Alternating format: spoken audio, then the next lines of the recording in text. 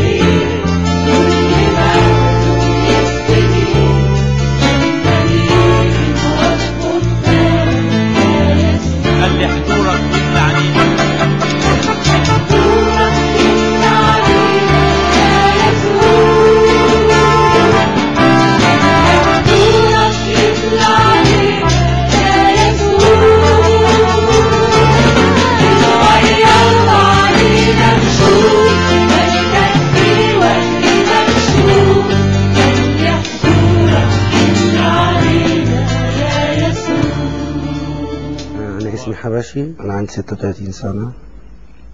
قعدت أخد مخدرات 19 سنة. أول لما ابتديتها ابتديتها بشكل آه، شيك وما بيصيرش إن في مشكلة. وابتديت أتطور فيها طلعت في الآخر إن أنا بتعامل مع مخدر جامد جدا و أنا أول لما كنت بتفرج على الناس الأول وهم بياخدوا نفس المخدر ده أنا كنت بقول إن أنا مش هاخد المخدر ده أصلا وأنا مش بتاع الكلام ده. أما وصلت المخدر ده برضو كنت باخده بطريقة معينة وقلت إن أنا مش هوصل للطريقة اللي هم بياخدوه بيها دي لأن هي طريقة قذرة جدا وما تمشيش معايا. آه، برضو مع الوقت لقيت إن أنا باخد بنفس الطريقة دي واستهلكت جسمي كله في السرنجات و ومعرفش يعني أنا متهيألي أنا من الناس اللي ما شفتش إن أنا عندي مشكلة مع المخدرات غير من فترة قريبة وكنت محتاج أوقف بس أنا مش عارف السكة فين وقعدت قعدت فترة أخش مستشفيات أكتر من 16 مرة. وبرضه بطلع أقول إن أنا مش هاخد. وجت عليا فترة كنت بسأل نفسي وأنا ماشي راح أخد مخدرات. أنا طالع من المستشفى كويس أنا اللي بيخليني آخد. يمكن آخر مرة فعلا حسيت إن هو الموضوع الموضوع إدمان قوي إن ان أنا مش لاقي حل. وما ينفعش حد يقول لي آه أفتح الإنجيل وشوف الحل. أنا مش عارف وأنا ما كنت ساعتها عندي حتة إن أنا ينفع أبص في إنجيل خالص. أنا عايز حد يقول لي بس آه إزاي بتعرف تبطل مخدرات؟ كان رافض إنه يخش مجموعة أو يخش برنامج أو آه، يقبل المسيح أو يروح كنيسة أو يعمل كده. وكان بيقاوم يقعد كذا شهر مبطل وفي مرات كان بيقعد سنة مبطل. لكن كانت شخصيته ما بتتغيرش كان طبيعته ما بتتغيرش. أنا حاولت اظبطها آخر مرة إن أنا هاخد خمرة بس ومش هاجي جنب أي مخدر تاني. بصراحة اليوم ده أنا قعدت ثلاث ساعات أشرب بيرة. وفي النهاية خالص رحت جبت المخدر بتاعي وخدته جالي أوفر دوز. وقعدت في الشارع أكتر من نص ساعة. العربية مفتوحة ومفاتيح فيها وتليفوني في الأرض و... وأنا أصلا واقع على الأرض و... وحاجبي مفتوح و... وبخر دم كتير من كل حتة وأنا أصلا مش موجود وناس كتير عمالة تقول مين ده وبعدين برضو حاجة كده يعني من ضمن الحاجات اللي أنا كنت بركز فيها بعد ما فوت من الموضوع ده إن أنا يعني أنا وقعت. في, ال... في الحتة بتاعتي في المنطقة اللي أنا عايش فيها ومحدش عارفني يمكن كانت الساعة واحدة أو اتنين الصبح لما كلموني قالوا لي أنت الدكتور إيهاب؟ قلنا له أيوه مين عايز؟ قال أنا بكلمك من تليفون واحد اسمه حبشي. قلت له أه فين حبشي؟ قال حبشي واقع على الأرض وبينزف وفقد الوعي وإحنا ناس معديين في الشارع. لقيناه ولقينا تليفونك فقلنا ده دكتور فكلمناك. فانا قلت هو يعني انتهى لأنه ده overdose وبينزف معرفش إيه اللي حصل اتخانق ولا عمل إيه. في واحد جالي وخدني وداني المستشفى وتخيطت ورحت البيت صحيت. أنا حسيت قد إيه إن يعني إن أنا ما اتحبستش اليوم ده. يعني مفيش دورية معدية اللي إنها لو شافت الموقف هتاخدني على طول. أو أنا ما متش. هو المفروض أنا يعني يموت يتحبس يقعد في مستشفى مجانين طول عمري. حسيت ان إن ربنا إداني ألم محدش يعرف يديهولي آه بالأسلوب ده. يعني محدش هيقدر يديني ألم قوي جدا وفي نفس الوقت حنين. يعني ما اتحبستش ما متش ما وقوي قوي إن هو هزني من جوه. أنا اتخذت ست مرات من البيت بطريقة اللي هو بيجولي الساعة أربعة الصبح وأنا نايم ألاقي نفسي متربط و سبعة الصبح أبقى في المستشفى وأقعد فيها أربع شهور ثلاث شهور ونص. والمستشفى دي صعبة قوي إن حد يهرب منها وأنا حقيقة دخلت ست مرات أنا هربت منها ثلاث مرات. ويمكن في مرة منهم كانوا حاطيني في حتة تخص المدمنين بس. فبيبقى ليها سور عالي وليها سلك وليها حرس وبيبقى معاه بنادق وحاجات كده يعني بيحرس. وبعد ما بنط ببقى برضه في وسط المستشفى. فأنا بصراحة نطيت السور ده معرفش نطيته إزاي وما حصليش حاجة ما اتكسرتش يعني. أنا أول لما وصلت البيت طبعا دخلت مش عشان معيش مفتاح دخلت من من ورا ودخلت واستحميت وقعدت شوية وجيت داخل باب الأوضة أنا لقيت صليب بالدم على باب الأوضة أنا فرجت ناس كتير قوي عليه ويمكن السنة اللي ظهر لي فيها الصليب دي أنا بطلت. هو ظهر لي في شهر اتنين أنا بطلت شهر 11 10 11 2001 لحد لحد النهارده أنا مبطل. ويمكن هي دي كانت علامة من ضمن العلامات اللي هو بيقول لي يعني. أنا متهيألي برضو في واحد جالي البيت عشان ي- كان بيجي يتكلم معايا في المستشفى عن ربنا وعن المسيح و... وأنا كنت بعيش معاه كويس قوي و... وبوريله إن أنا ممكن أنزل زيت وأنا قاعد معاه. وبعدين أول لما بخرج باخد مخدرات وما بسمعلوش. الراجل ده جه مرة قال لي كلمة يمكن أنا حسيت إن هو واثق قوي من اللي بيقوله لي. يقول لي على فكرة حبشي بس أنت جاي جاي. آه أنا يعني شدتني قوي حتة هو بيتكلم كده بأنهي ثقة؟ أنا فضلت جامد آه، لمدة 19 سنة وما أعرفش أنا ما فقت من من آخر حادثة دي حصلت لي وحسيت إن إن أنا مش لازم أبقى جامد و إن يعني في بركة أكتر من إن أنا أبقى جامد في بركة إن أنا أبقى عاجز. ولما أقول إن أنا عاجز النهاردة أنا هقدر أستمد قوتي من أي حد ربنا يبعتولي النهاردة. أنا عارف إن هو بيحبني أوي ومن زمان وهو بيحبني وأنا اللي ما بحبش نفسي و أنا اتعودت النهاردة أو اتعلمت إن أنا أسامح نفسي لما أغلط لأن أنا إنسان و... وهو كده كده بيسامحني و... وعندي عندي يعني براهين كتير قوي من ساعة ما اتولدت لحد النهاردة. إن هو بيحبني وهيفضل يحبني وبيعمل لي دايما الخير. أنا مش قادر أصدق حجم التغيير اللي حصل في شخصيته وفي طباعه في هدوء. بمجد الرب معاكم وأنا بسمع اختباره وبمجد العمل العجيب اللي حصل معاه. أنا دايما باخد بالي اليومين دول إن إن الخريطة بتاعتي مش هتبقى أحلى من اللي هو بيرسمه لي ومش هتبقى أحلى من اللي هو عايزه لي أنا ابتديت أشوف من ساعة ما حسيت إن ربنا بيشتغل جوايا ابتديت أحس إن هو يعني ممكن بيشتغل جوا أي حد ويعمل أي حاجة الأمل اللي اداهولي في تبطيل المخدرات حسيت إن ممكن أي حاجة تاني تحصل. طالما حتة المخدرات دي وقفت عندي ممكن أي حاجة تاني ينفع أشتغل ينفع أتجوز ينفع يبقى ليا علاقات صحية ينفع حياتي تبقى جديدة. أنا ربنا النهارده في حياتي آه، هو المسيح. وأنا كنت من الناس اللي بيخافوا من الموضوع ده وبيخافوا يقربوا ويبقوا زي الناس المتدينين وأنا مش عايز أبقى زي الناس دي. أنا النهارده حسيت إن أنا لو ما رميتش نفسي جوه المسيح أنا مش هعرف أعيش ومش هعرف أبقى في حتة الأمان. يعني أنا ببقى مطمن قوي وأنا مسنود على حاجة أقوى مني. أنا ما شفتش حاجة أقوى مني لحد النهارده وحية. لحد النهارده. غير المسيح حوار قوي جدا بين المسيح وبين ال- اليهود. بيتكلم معاهم بيقول لهم وتعرفون الحق والحق يحرركم. فردوا عليه قالوا له إننا ذرية إبراهيم ولم نكون عبيدا لأحد قط فكيف تقول لنا تصيرون أحرارا؟ فرد المسيح قال كل من يعمل الخطية هو عبد للخطية والعبد لا يبقى في البيت إلى الأبد.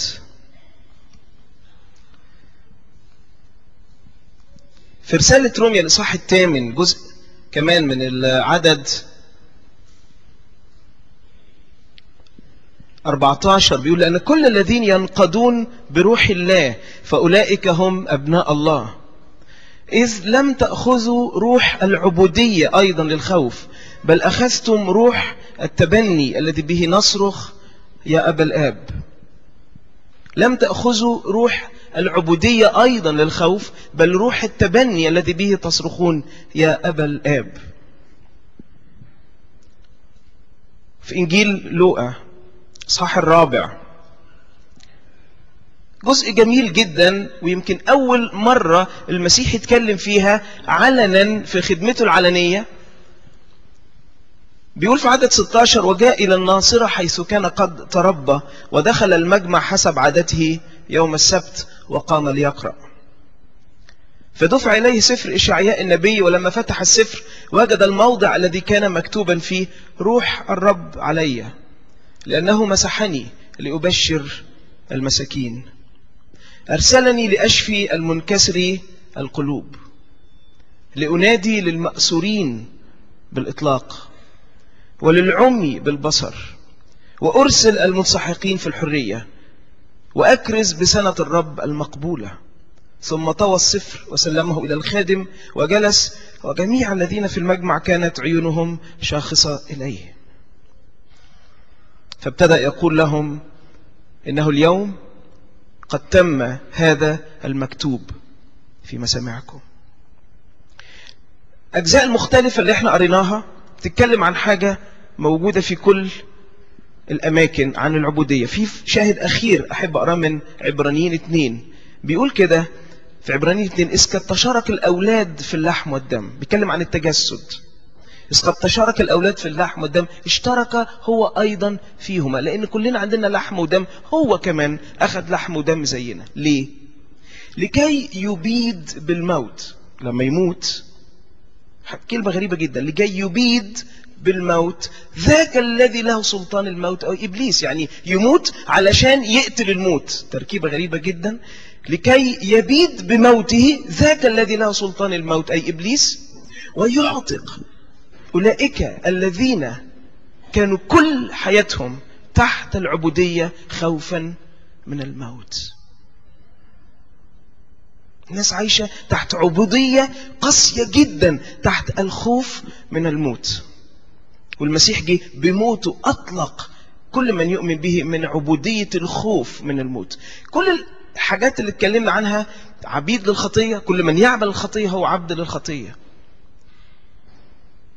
يطلق المأسورين. بيتكلم عن ناس مقصورة مقيدة مربوطة. مش قادرة تعمل حاجة مش قادر أعمل حاجة لنفسي فيها. عايش حاجة ماليش مش عايز أعيشها لكن عايش فيها غصب عني. عبودية قاسية جدا. بيقول لن تأخذ روح العبودية للخوف بل روح التبني. أنت عايش يا إما عبد للخوف يا إما عندك روح التبني. وبيتكلم عن عبودية الخوف من الموت. أنواع كتير جدا من العبودية. والنهاردة وإحنا بنتكلم عن المسيح المحرر. بنتكلم هو الرب. المحرر. ويمكن الاختبار اللي سمعناه النهارده بيقول يعني إيه هو محرر بشكل عملي في حياة إنسان عادي زي أي واحد فينا شخص عادي تحرر كان عايش حاجة مش عايز يعيشها حاول دخل 16 مرة المستشفى عشان يتغير. تغيرش عبد.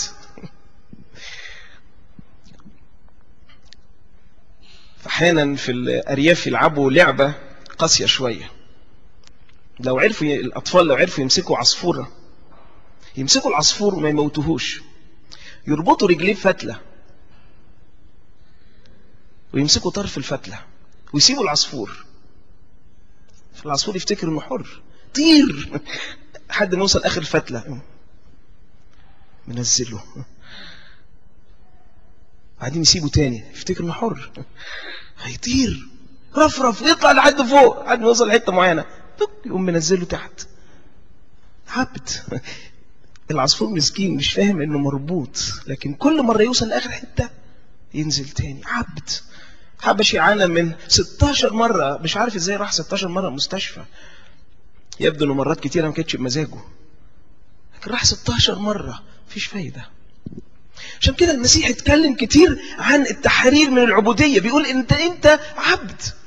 والحقيقة المسيح لما تبص على حياته ولما تقرأ الكتاب المقدس تقرأ الكتاب المقدس مش بالطريقة اللي طول عمرك بتقرأها بيها لكن اقرأها وانت عايز تشوف المحرر تلاقي حاجة غريبة جدا إن المسيح وهو بيتحرك وهو بيقابل الناس وهو بيتعامل مع الناس بيتعامل مع أنواع كتير جدا من مع من الناس. والحاجة الغريبة إن النوعية اللي بيتعامل معاها نوعية ما تصرش. لكن الحاجة الغريبة إنه كل مرة يدخل في مجتمع يدخل في الحتة دي مع الناس الناس دي تتغير ما تبقاش زي ما هي تاني وتتحول الناس دي إلى أتباع للمسيح. ويكفي نظرة بسيطة ودراسة سريعة للشلة بتاعت المسيح المجموعة اللي ماشية مع المسيح. المسيح بيتحرك دايما ورا شوية خدام. وتبص على الخدام دول تلاقي كلهم ماضي عجيب. مجنون كرة الجدريين. زكى الحرامي. متى جاب الضرائب المجدلية اللي كان فيها سبعة أرواح شريرة التي أمسكت في زنا السامرية اللي كانت متجوزة خمسة؟ شلة يعني مجموعة ما فيهاش أي حد من يعني الناس اللي, اللي تشرف لكن كلهم اختبروا حاجة غريبة اختبروا تغيير غريب جدا. وده اللي المسيح بيقوله في- في لوقا أربعة. وخلي بالك إن الجزء اللي المسيح بيتكلم في لوقا أربعة بيقدم نفسه للناس. عارف زي دلوقتي الناس تطلع ال business card لما تطلع الكارت بتاعك وتقدم نفسك. قبل ما تتكلم قبل ما تعمل حاجة تطلع ال business card تقول فلان الفلاني. طبيب آم، آم، آم، طبيب آه، أمراض باطنية مش عارف دارس فين وفين وفين بيقول لك مؤهلاته بيقول لك هو شاطر في إيه بيقول لك هو متخصص في إيه فبيقدم الكارت لما تشوف تقول آه، فلان محامي آه، أمام محاكم والنقد والاستئناف وال- والدستورية تقول آه المحامي ده راجل قديم. بتعرف من الكارت هو مين؟ بيقول لك أنا أعرف أعمل الحاجات دي كويس قوي والدرجات والمؤهلات اللي هو واخدها بتقول قد إيه الشخص ده شاطر وقد إيه متمكن. فالمسيح في لوقا أربعة بيقدم ال business card للبشرية.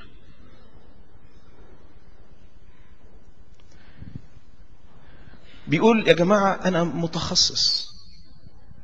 روح الرب عليا مسحني. خصصني.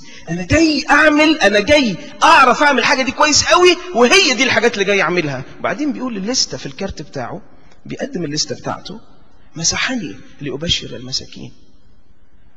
أرسلني لأشفي المنكسر القلوب لأنادي للمأسورين للمقيدين بالإطلاق وللعمي بالبصر وأرسل المنسحقين في الحرية وأكرز بسنة الرب المقبولة. جاي بيقول كل حاجة خلي بالك كل حاجة بيقولها بيقول حاجة وحشة قوي قوي ويقول عكسها كويس قوي قوي المساكين هبشرهم العمي هيشوفوا المنسحقين هيتحرروا المأسورين هيطلقوا المجروحين هيشفوا. بيتكلم بيقول أنا جاي أعمل كده. وحياته كلها كانت كده. الحاجة الغريبة إن كتير اسمهم مسيحيين بس ما حصلش معاهم حاجة من دي. المسيح عدى على حياتهم ما عملهمش حاجة خالص. ما فيش حاجة اتغيرت. هي نفس الحالة هي نفس الشيء اللي بيتكرر كل يوم. أنا موجود فيه اللي بقوم فيه بنام فيه واللي بنام فيه بصحى فيه. مفيش حاجة اتغيرت. في نوع من المقابلة المختلف تماما مع المسيح. في نوع من المقابلة اللي فيها المسيح يقدر يمد إيده ويعمل حاجة في حياتك يغيرها. وفي مقابلات مع المسيح أهي مقابلات في الزحمة. المسيح قابل آلاف الناس. كان دايما ماشي زحمة وأما يجي جموع بيسمعوه يش يشبع ألاف مؤلفة خمسة ألاف غير النساء والأطفال. لما يجي يروح يقيم ابنة ييروس وهو ماشي يقول من لمسني؟ فالتلاميذ يقولوا له يا سيد الجمع يزحمك. يعني لمسك إيه بس؟ ده الدنيا زحمة الناس بتزق قول مين زقني؟ مين؟ بس مش تقول مين لمسني زحمة ماشي دايما وسط ناس. بس واحدة لمسته. لا في لمسة مختلفة. هو خرجت مني. في حد اتشافى دلوقتي. في حاجة حصلت. تحضر الكنيسة بقالك سنين وبتحضر وعارف المسيح كويس قوي. بس إذا ما كانش عامل الحاجات اللي بيحكيها في له أربعة أنت لسه ما قابلتوش. مقابلة شخصية بينك وبينه. العبودية اللي اتكلمنا عنها عايز أتكلم عن ثلاث أنواع من العبودية. ثلاث أنواع مختلفة من العبودية. عبودية قاسية جدا. عبودية خي... مخلية الإنسان عايش متضايق جدا وتعبان جدا. في رومية 8 بيقول لم. لم تأخذوا روح العبودية أيضا للخوف بل روح التبني الذي به تصرخون يا أبا الآب هو بيتكلم هنا بيقول إن في نوعين من الناس في ناس عايشة في عبودية للخوف خايفة عايش خايف ما أعرفش أنت بتخاف من إيه طبعا بتخاف من الضلمة دي معروفة لكن إذا في حاجات تانية بتخاف منها بتخاف من بكرة بتخاف من امبارح من اللي حصل امبارح خايف من الناس خايف من نفسك خايف من المستقبل خايف من المستخبي خايف من ربنا خايف من إبليس خايف من حاجات كتير جدا عايش خايف. فبولس بيقول يا جماعة إحنا ما خدناش روح العبودية للخوف. لأن اللي خايف ده عايش في عبودية قاسية جدا. لكن المسيح حررك واداك حاجة اسمها روح التبني الذي به نصرخ يا أبا الآب. وكلمة أبا الآب أبا هي الكلمة اللي يسوع كان بيقولها بالأرامية باللغة العامية للآب. ودي الكلمة اللي كانت بتغيظ اليهود غيظ ما بعده غيظ لأنه كان بيقول للآب بابا. بيستخدم اللغة الأرامية اللي الأطفال بيستخدموها في منادات أبائهم. فما كان المسيح يتكلم عن الآب السماوي ما كانش بيقول الآب كان بيتكلم بيقول باب بابا. لأنه في العهد القديم أنت الله أبونا. موجودة في العهد القديم. طب ومتغاظين ليه بالمسيح؟ لأنه كان بيكلمه ببساطة غريبة. وبيقول إننا أخذنا نفس الروح دي. في فيليبي بيقول لأننا أخذنا روح ابنه. يعني أخذت روح ابنه يعني أنت فيك الروح اللي كانت جوه المسيح. لم تأخذ روح العبودية أيضا للخوف بل روح التبني الذي به نصرخ يا أبا الآب. أول نوع من أنواع العبودية أو الخوف اللي موجودة في حياة الإنسان خوف غريب جدا هو الخوف من الله. إن الإنسان عايش في العالم وسط أنواع كتيرة جدا من الخوف كون جوه نفسه نوع من الخوف اللي من الله.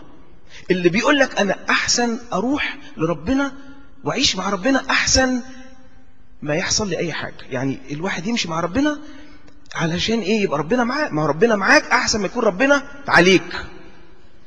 فأنت تمشي مع ربنا النهارده علشان يساعدك بكرة. فتصلي له النهارده علشان إيه؟ بكرة في امتحانات. فتلاقي أنا فاكر كويس في الثانوية العامة ما كنتش بروح الكنيسة خالص خالص. يعني الكنيسة دي كانت آخر حاجة أفكر أروحها. كنت قاعد في النادي آه يعني بعمل حاجات كتير قوي لكن لكن قبل الثانوية العامة كنت في الكنيسة. والكنيسة زحمة. وشباب كل أصحابي اللي عارفهم من النادي كانوا في الكنيسة. أصل الثانويه العامة داخلة. فالواحد يعمل إيه؟ يتقرب لربنا علشان إيه؟ ربنا يرضى عليه. نوع من الخوف المستخبي اللي كون كون جوه الإنسان. مش بس علشان وأنا عايش هنا ربنا معايا ويسترها معانا و... و... ويبقى تبقى ماشي مع ربنا أحسن ما تبقى ماشي آه... لوحدك. أهو ربنا برضو معاك. مش بس كده ده أنا خايف كمان لأن ربنا هيحاسبني. الحساب ده قصة تانية.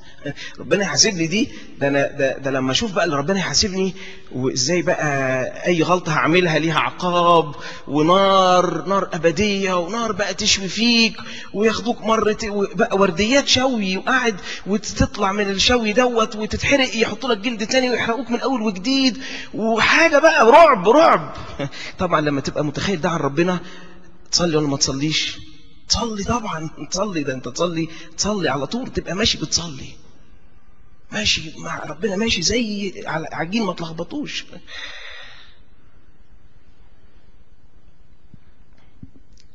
والمسيح واحدة من الحاجات اللي واجهها فك الناس من الخ... من العبودية دي. قال لهم أنتوا أحرار أنتوا ما تخافش ما تعيش الحكاية دي. غلط غلط. انت عايش مع الله بطريقة غلط. انت فاهم ربنا؟ غلط. عشان كده قال مثل من الأمثلة العجيبة جدا. اتقال مئات المرات يمكن ألاف المرات يمكن أنت حافظه صم في لقا 15 عن الابن الضال. القصة دي من أعجب القصص هي أكتر قصة تعودنا عليها بس هي من أعجب القصص لأن المقصود في المسيح بيقوله. مش بيتكلم عن الابن. الابن ما إحنا عارفينه. عاجنين وخابزين وعارفين الابن لأنها قصتنا وحياتنا. الغريب في القصة الأب والأب بيتصرف تناقض رهيب. ابنه يقول له اديني القسم الذي يصيبني من المال يعمل له إيه؟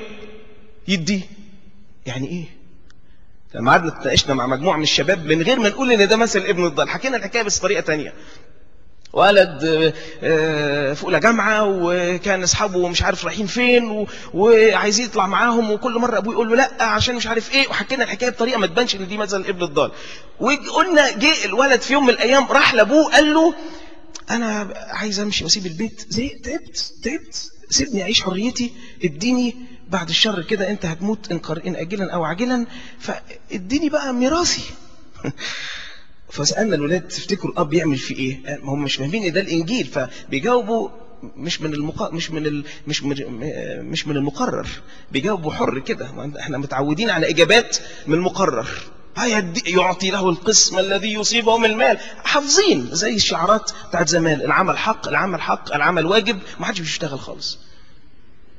فحافظين حافظين الحاجات. المسيح بيعمل إيه؟ المسيح مين الله إيه؟ الله محبة. حافظين. لكن معناه إيه؟ ملاش معنى. فسألنا الحكاية دي بطريقة مستخبية. المسيح الراجل ده يعمل إيه مع ابنه؟ قالوا هيحرموا من الميراث طبعا. ده أقل ما فيها. يعني ده ما كان ما كلوش كام قلم وحبسوا ثلاث أيام في الأوضة واتحرم من الميراث. أقل ما فيها. لكن المسيح بيقول اداله القسم الذي يصيبه والتناقض الغريب إنه فضل قاعد مستني الولد يرجع. ليه؟ لأنه كان المسيح بيتكلم عن حرية من الخوف من الله. بيقول لك الله ما ينفعش تعيش معاه إلا باختيارك. ما ينفعش تعيش معاه إلا باختيارك. ما ينفعش تعيش معاه إلا بسبب الحب. ما ينفعش تبقى بتعبد الله. ما اسمهاش عبودية. اسمها عبودية. عشان كده المسيح قال للتلاميذ لا أعود أسميكم عبيد بل احباء إذا ما اختبرتش الحكاية دي في حياتك تفضل طول عمرك عايش خايف من ربنا. المسيح كسر الحكاية دي خالص.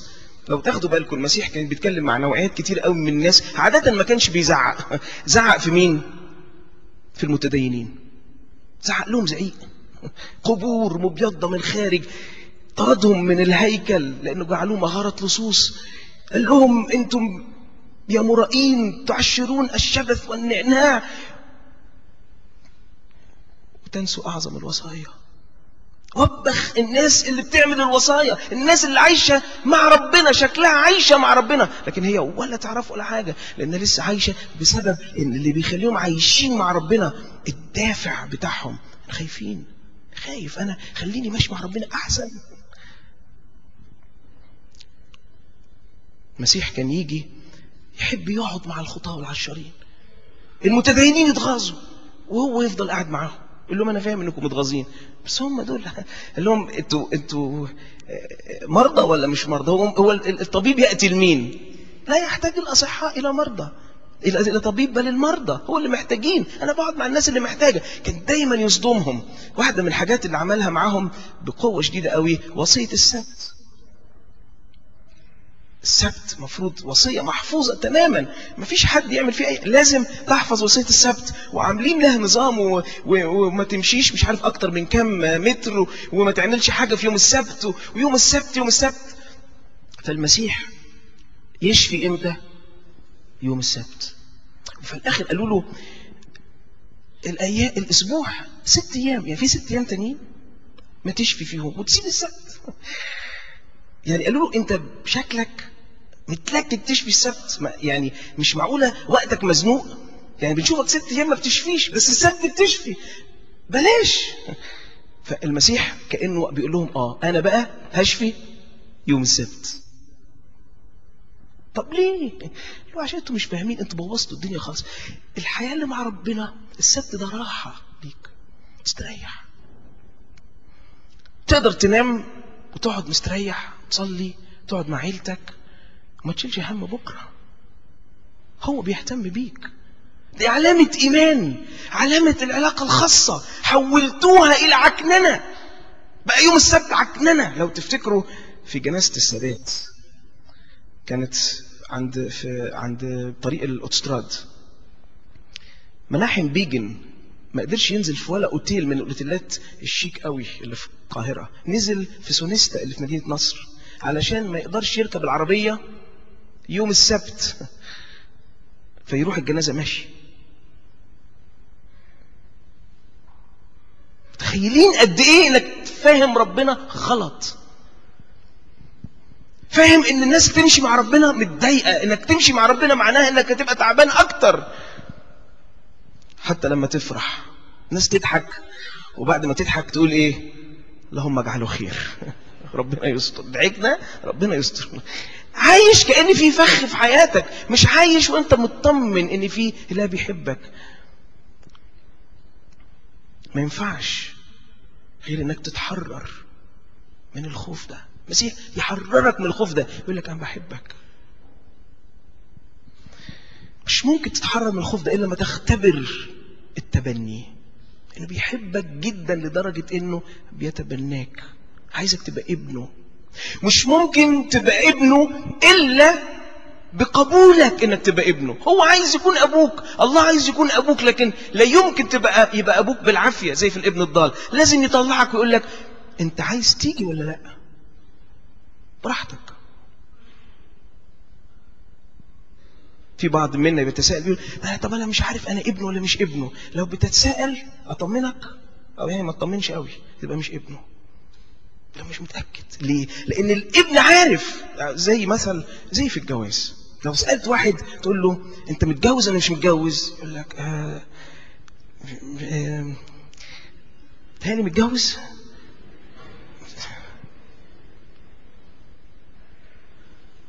ساعات بتحصل طبعا لكن ليه؟ لأن الجواز علاقة مهمة جدا وحصلت بطريقة إنك لا يمكن تشك إنك متجوز. أنا اتجوزت في الكنيسة دي من 17 سنة. سيس ميس هو اللي جوزنا. وفاكر كويس يوم الفرح، فاكر كويس قوي. ما نساهوش. حجزنا الكنيسة وعملنا ورد وجبنا بونبونيرات وجبنا المعازيم وعملنا كروت وجبنا فريق ترنيم واتفقنا مع القسيس ولبست البدلة وداليا لبست فستان الفرح وجينا وكنا على المكان هنا على المنبر وبعد ما خلاص عاملين فرح ده كله يجي القسيس منيس يقول إيه؟ هل تقبل هذه الممسك يمينك بي- بيمينك زوجة لك؟ امال يعني بنلعب عريس وعروسة؟ آه جاي يتجوز. جايين نتجوز. هل تكون زوجا لها في ال- الغنى والفقر في الصحة والمرض؟ هل تعلن أمام الله وأمام هؤلاء الشهود أنك تكون أمين لها وفي نعم ويسألها هي أتقبلي هذا م... هذا البن... الإنسان اللي ماسكة يمين واللي تديله الدبلة علامة الارتباط؟ هل بتعملي ده لأنك عايزة ترتبطي بيه؟ نعم تحبيه أيوة تكوني أمينة ليه؟ أيوة تعلني أمام الله والشهود؟ نعم نعم. فأنا عارف إني متجوز من 17 سنة. عمري ما حد بيسألني بيقول لي أنا عارف إني متجوز. طبعا عارف إني متجوز لأني متجوز. لكن كانت واضحة قوي. بس كان لازم نعلن هذه الرغبة. لأن علاقه مهمة جدا. إحنا مش طالعين رحلة مع بعض بقول تطلعي معانا معايا الأقصر وأسوان. أنا طالعين نتجوز فلازم يبقى في عهد زواج. إنك تكون ابن ده عهد. عشان كده ده الكتاب ده اسمه العهد الجديد. العهد الجديد إن في عهد من الله ليك بيقول لك أنا أكون أبوك. لو قبلت إنك تكون ابني. لم نأخذ روح العبودية للخوف بل روح التبني الذي به نصرخ يا أبا الآب. النوع الثاني من العبودية عبودية الخطية. الخوف هنا من الفشل. خوف من الفشل. المشكلة بتاعت الخطية إن اللي عايش فيها مش حاسس إنه في خطية. مشكلة العبودية ديت إنك مش حاسس إنه أنت عبد. زي اما سمعنا من حبشي وبيحكي بيقول "ها، قررت أبطل المخدرات أشرب خمرة بس. أنا هاخد مخدرات بس مش هبقى مقيد مش هبقى مدمن. كل المدمنين قالوا كده. قال أنا مش ممكن أبقى مدمن. وكل الخطاة يقول لك أنا مش خاطي وده اللي قاله اليهود للمسيح. قالوا له قال لهم تعرفون الحق والحق يحرركم. بيقول لها حاجة جميلة. قال لهم لما تعرفوني هتتحرروا. لأنه هو المسيح قال أنا هو الطريق والحق والحياة. تعرفون الحق. تعرفوا أنا بحبك فعلا. تعرف أنا ممكن أعمل إيه في حياتك. والحق ده يحررك. فقالوا له تحرر مين؟ رد على المسيح كده تحرر مين؟ إحنا إحنا أولاد إبراهيم. مش تاخد بالك بتكلم مين برضه؟ إحنا أولاد إبراهيم. أنا مسيحي. مسيحي. أنا مسيحي. فالمسيح قال ما أنا فاهم إنك مسيحي. قال لهم ما أنا فاهم إنكم أولاد إبراهيم. بس المشكلة مش إنك ابن إبراهيم مش ولا مش ابن إبراهيم مش إنك مسيحي ولا مش مسيحي. مش دي اللي تفرق. لأن كل من يعمل الخطية هو عبد. الخطية. مشكلة الخطية إنك لا تدرك إنك فيها. عامل زي اللي محبوس في القفص. وقاعد يتفرج على الناس اللي بره يقول الله حاجة جميلة قوي يجيبوا لي كل يوم ناس أتفرج عليهم. محبوسين في الناحية التانية. أنت اللي محبوس. أنت اللي محبوس. وفاكر إنه باقيين كلهم يا بيجيبوهم لي اتفرج عليهم كل يوم. حاجة لطيفة قوي حبيبي أنت اللي محبوس. مشكلة الخطية إنك ما تعرفش. إنك مقيد. مش, مش قادر تحس بيها. كويس أنا دايما تكلم الناس يقول لك أنا لا بزني ولا مدمن ولا بقتل ولا بخون ولا يعني أنا الحمد لله.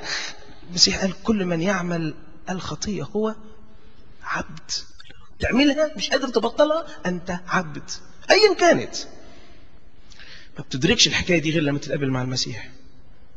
تتقابل مع حاجة عكسية.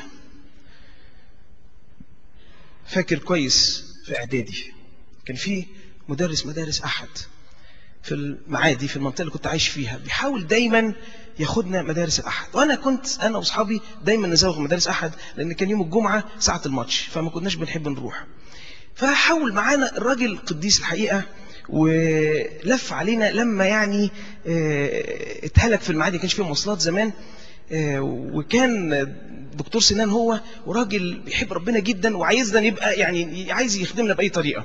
الراجل ده كان فاكره لحد النهارده اسمه دكتور عبد الله بقى أبونا في لوبوس في كنيسة العذراء في المعادي بعد كده. كان دايما يلف علينا ويخبط علينا وياخدنا وإحنا مفيش فايدة. في يوم من الأيام قرر ياخدنا دير. رحنا دير طاموه في الناحية الثانية قدام المعصرة. أنا وكم حد من أصحابي ورحنا هناك وقعدنا يوم في مكان مع ال... مع الرهبان ومع أبونا ومع الدكتور عبد الله وكلمونا كلام جميل وقعدنا في مكان حلو نظيف لما قعدت في مكان نظيف حسيت بإيه؟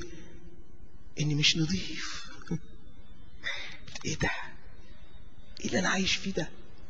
كان أكتر حاجة ساعتها كانت الشتيمة. يعني كان واحد يعني يعني ألفاظ ما تتقالش. ورجعت من الدير. من اليوم ده يوم واحد. تقعد في مكان نظيف تحس على طول بالعبودية على طول. قررت إني أبطل شتيمة. قلت هتحسن. هبطل. هتغير. وببطل دي هبطل اللي بعديها. وبطل دي هبطل اللي بعديها. أسبوع اتنين ورجعت ريما. لعادتها القديمة أسوأ من الأول. النتيجة كانت إيه؟ إحباط رهيب. إحساس بالفشل. لأني صليت وطلبت ربنا وتبت وعملت كل حاجة. إحباط رهيب. لدرجة إني قررت إن ربنا مش همشي معاه تاني. ثلاث سنين. بعدت بعدت بعدت بعدت أقصى ما يمكن من الإحباط والفشل. لحد ما أدركت الموضوع مش موضوع مجهود تعمله. موضوع مش زي ما حبش قال أبطل مخدرات واخد خمرة. أنا هتحسن قدام. تحسن؟ طب أسألكم حاجة. أنت مع السن الواحد يتصور كده الواحد لما يكبر يبطل خطية. وأما يكبر شعري ابتدى يبيض كده وابتديت شكلي كبر سن وبتاع الواحد إيه هيبقى أحسن. كل ما تكبر كل ما تتحسن كل ما هتعيش في الحياة دي هتبقى أحسن. طب سؤال أنت بتتحسن؟ ولا بتزداد سوءا؟ أنت لما بتكبر بتكبر في البر ولا بتكبر في الخطية؟ لا بتكبر في الخطية. ده أنت بقيت الخطية بقت أذكى. الأول كان واحد يقع كده طراخ. بابا يمسكني تعمل إيه؟ على طول. لكن دلوقتي لا. لا ما حدش يعرف حاجة. أنا الخطية بقيت أشطر فيها. العبودية خادعة. مش ممكن تتغير فيها إلا بطبيعة جديدة. مش ممكن تتعرف تتعرف على الحرية الحقيقية غير بالطبيعة الجديدة زي ما بولس الرسول بيقول إن كان أحد في المسيح فهو خليقة جديدة. الأشياء العتيقة قد مضت. هو ذا الكل قد صار جديدا. انك تاخد طبيعة جديدة انك مش تقول له رب النهارده هرقع الحتة ديت وبعده هعمل رقعة هنا وبعده هعمل هنا وشوية بشوية تتحسن. المسيح قال ما ينفعش. لا يصلح أن تضع رقعة من ثوب جديد على ثوب عتيق يصير الكل إلى أردأ. المسيح بيوصف بيقول ما ينفعش تجيب رقعة من من من حاجة جديدة قماشة جديدة تحطها على جلابيتك القديمة هيبقى شكلها أوحش من الأول. وده اللي كتير من الناس تحاول تعمله. أبطل مخدرات وآخد خمرة. تضحك. هبطل شتيمة وبعدين بعد شوية هبطل دي وبعدين هبطل دي. وأهو يعني أهو نتغير. ما ينفعش. دي رقعة. ما ينفعش غير إنك تيجي تقول له أنا الجلابية دي الجلابية دي كلها مش نافعة. كلها على بعض. حياتي دي كلها لا المسيح يقول لك تاخد جلابيتي أنا؟ خليقة جديدة قلب جديد يغيرك تماما يحرر من عبودية الخطية. مفيش حرية من العبودية الخطية غير في الصليب. بتشوف ثمن الخطية؟ بتشوف الحب اللي بيحبه لك بالرغم من الخطية بتشوف الثمن اللي هو دفعه ليك عشان تتغير. الحاجة الثالثة والأخيرة عبودية الخوف من الموت. عبودية قاسية جدا جدا. الكتاب بيقول ان الناس ظلت كل حياتهم عايشين تحت العبودية خوفا من الموت. لكن بيقول إن المسيح بموته أعتق حرر الذين خوفا من الموت ظلوا كل حياتهم تحت العبودية. بيتكلم إيه العبودية؟ إيه, إيه الخوف من الموت؟ الخوف مش من الموت مش معناه الموت في حد ذاته لأن الموت مخيف. وهيظل مخيف. لكن المرعب ما بعد الموت. ده المرعب. وده اللي المسيح بيحررك منه. المسيح مش بيشيل الإحساس إن الموت دي حاجة مش لطيفة.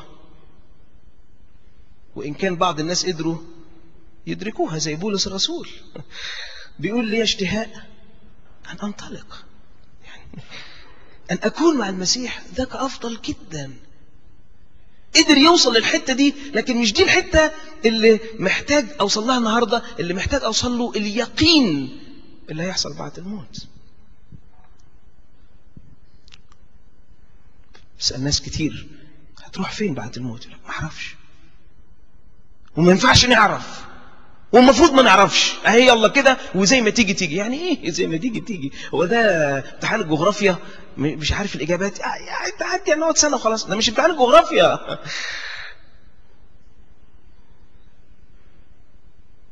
ده مش من سيربح المليون. دي حياتك الأبدية. ما ينفعش تفضل عايش. وأنا مش عارف. آه، ربنا أهو ربنا عالم بقى. نفضل مستنيين كده لحد ما يبان. يبان ما يبان. متأخر قوي. المسيح بيقين بوضوح قال أنا أعتقك من هذا الخوف. ما ينفعش. ربنا بيحبك وتفضل عايش تحت العبودية ديت. عشان كده المسيح من أهم أعدائه اللي واجههم الموت. ما سابوش. كان كأنه بيدور عليه. كل ما يلاقيه في حتة يقوم داخل معاه جولة. عارفين زي الجولات بتاعت الملاكمه الجولة الأولى. فالمسيح قابل الموت مرات عديدة وكل مرة كان بيقول الموت ده تحت سلطاني.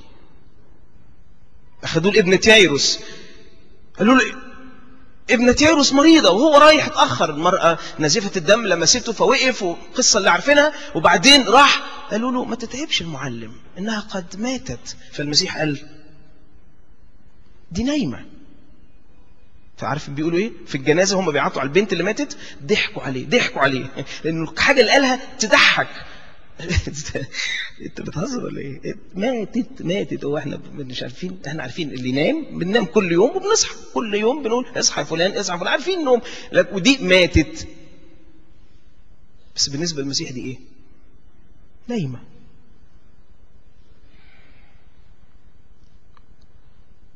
يا ابنة قومي. قامت بعديها كان معدي وأرملة نايين رايحة تدفن ابنها. ده مات بقاله شوية بقى. فوقف الجنازة. ونادى على ابنها فقام. كل مرة كان بيتواجه مع الموت يقف قدام الموت يقول للموت إحنا عارفين بعض كويس ها؟ أنت تقدر تضحك على الناس دي كلها بس مش عليا. كل مرة يقابل حد ميت يقومه. حد العذر دفن وبعدين قالوا له في الآخر مريم ومرثا قالوا له يا سيد قد أنتن هو ده ده مش ابن تايروس دي مش نايين لسه طالعين بيه دلوقتي. لا ده مش لسه طازة. هو أنتن المسيح بالنسبة له تفرق إيه؟ يعني ميت من ساعة ولا من خمسة ولا من ست أيام ولا من سنتين. تفرقش. بالنسبة له ما تفرقش. يعني يعني اللي يقدر يقول للي مات من ساعتين قوم ما يعرفش يقول للي مات من يومين قوم. ما هي هي بالنسبة له. نام. ده نايم بس نام نوم تقيل شوية. ده قوم. ده قوم. يعني حسب. فنادى على العذر قال له العذر هلم خارجا. العذر طلع اتنطط هو مربوط ملفوف. الحاجة الغريبة إن اليهود ساعتها قرروا يقتلوه. غريبة جدا فكر المتدينين بتوع اليهود. غريب جدا. يعني المسيح يعبر عن هذا الحب العجيب يقول لك نموته. مش فاهم الذكاء ده جابوه منين مش فاهم. بس أغلب الناس اللي بتعيش في العبودية الأولى اللي خايفين من ربنا عايزين يمشوا على الوصايا عايزين يعملوا الحاجات مش نمشي على دي. ما يا عم ما تجيب لناش كلام وبلاش الكلام الفاضي ده ونفضل ماشيين كده. كل ما يشوف المسيح يظهر قوته كل ما يتغاظوا منه أكتر. غريبة جدا. غريبة.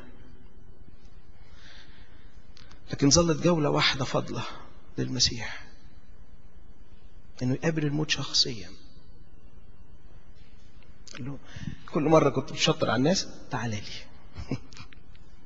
تعال موتني بقى. وريني شطارتك كده. إبليس قال فرصتنا. وقفلوا عليه وصلبوه موتوه. كله بقى مسامير وجلد وصليب. وبعدين حربة وبعدين في القبر وقفلوا عليه وختموه. الحمد لله. عملت كل حاجة خلاص خلاص. قام هو؟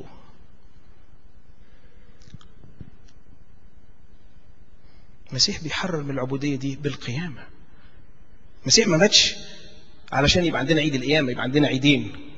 زي بقية الناس كده كل الناس عندهم عيد. إحنا عندنا كمان عندنا عيدين. إيه الميلاد والقيامة؟ إيه معناه ولا حاجة. القيامة معناها إن أنا إن كنت أنا في المسيح فكما قام سأقوم أنا أيضا. يعني عارف إيه اللي يحصل؟ المسيح قال كده. المسيح ما قالش يمكن تقوم. هحاول أقومكم.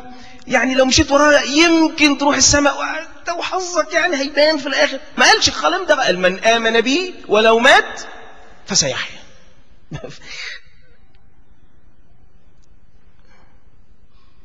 مش بيقول كلام كده من بعيد و... يمكن و... يعني إن شاء الله و... وربنا سهل كده وبعدين في قيامه يعني يمكن تقوم يمكن ما تقوم ما نعرفش. يمكن يطلع ليك نصيب ما, دي... ما الله أعلم. يعني دي سبب في الآخر وما حدش عارف حاجة. لا لا لا لا لا لا لا, لا. تفضل عايش تحت العبودية. المسيح قال من آمن بي ولو مات. فسيحيا أنا هو أنا هو القيامة والحياة. كنت في المسيح. أنت ليك قيامة.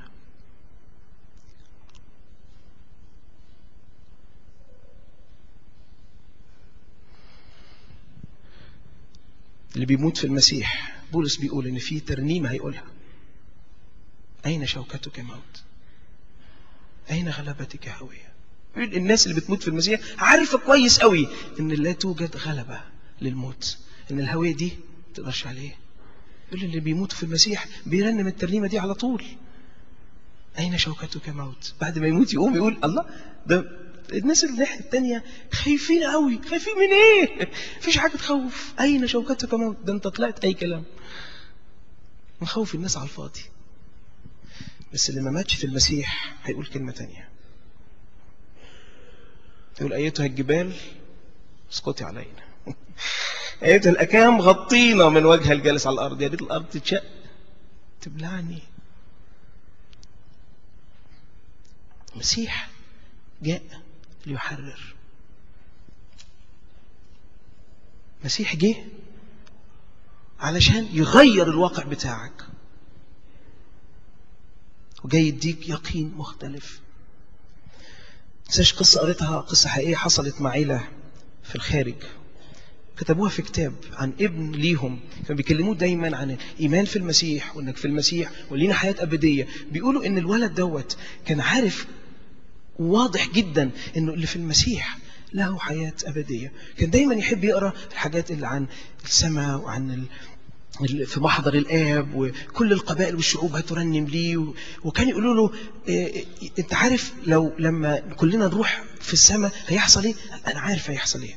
الملاك هيجي وينادي إيه، يسوع هيجي ينادي على بابا باسمه يقول فلان تعالى يفتح سفر الحياة. ويلاقي أسامينا كلها مكتوبة ويلاقي يبص على بابا وينادي عليه يقول له تعالى يبص على ماما ويقول لها تعالى قالت له أنت هيعمل معاك إيه؟ قال أنا عشان صغير هفضل أنط وأقول له أمير أمير أنا هنا أنا هنا عشان يسوع ياخد باله وياخدني معاه. العيلة بتكتب بتقول إنه بعد سنة أو سنة ونص تقريبا الولد دوت عي وراح العناية المركزة وعرفوا إنه مفيش أمل في شفائه. بيقولوا في الآخر خالص. كانوا سامعين الولد وهو في آخر لحظاته قاعد يقول I am here. I am here. أنا هنا. الولد ده عاش عمره حر من العبودية. لأنه عرف أن ليه قيامة في المسيح. سؤالي النهاردة ليك. اختبرت اللي المسيح بيقول لك عليه. حصل معاك الحاجات المسيح بيحكي عليها. عارف إنك ابن عملت العهد ده معاه ولا لأ؟ الأمر بسيط جدا وصعب جدا. عامل زي السؤال اللي الناس بتسقط فيه من سهولته. عارفين الأسئلة دي؟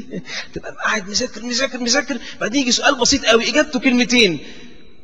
معقوله كلمتين. لا لا لا. وتفضل. تكتب تكتب تكتب تكتب صفر.